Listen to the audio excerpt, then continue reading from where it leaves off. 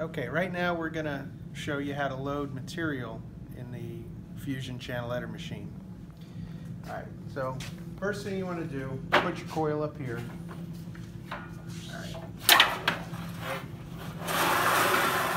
I'm gonna take the coil and I'm gonna go on the outside of this red roller.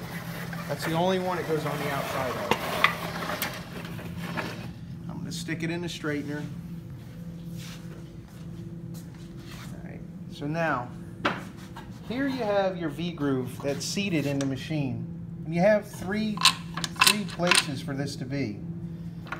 This high place right here, that's for reverse channel letters, or letters with no flange. That place is for half inch flange. And this is for a quarter inch flange. So we're gonna do half inch flange, standard channel letters. All right, so get that out of your way. Now, I'm gonna slide the material in and I'm gonna make sure that the machine's off. If it's not off, hit your emergency stop on the monitor there. That'll shut it down. So now I'm gonna just put it in the material here. I'm gonna put the material in a V-groove down at the bottom, and I'm gonna set this side, right? And now I'm gonna work it through the drive box. Use this hand wheel. So now we're gonna go to the other side of the drive box. And, all right, so see the material coming through? You may have to use a screwdriver or something to get it started in the V-groove roller. Now, the most common problem that we've seen is people get this material on this side of the roller. Well, I can't quite get it here. They do that.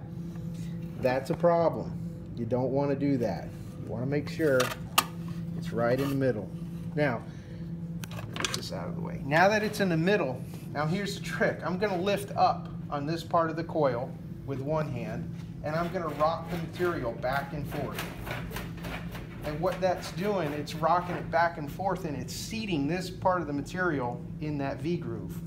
I can try to reach in with my finger and spin the wheel and I can feel that there's contact. I can't spin that wheel. So I know I'm, I'm down in the right position. I'm gonna go back to this side and I'm gonna hold down and I'm gonna rock it. And make sure I'm seated and double check. See, this side needs to come down just a little bit. Just a little bit. Okay. And that's it. Doesn't matter where it's at as long as it's inside the machine.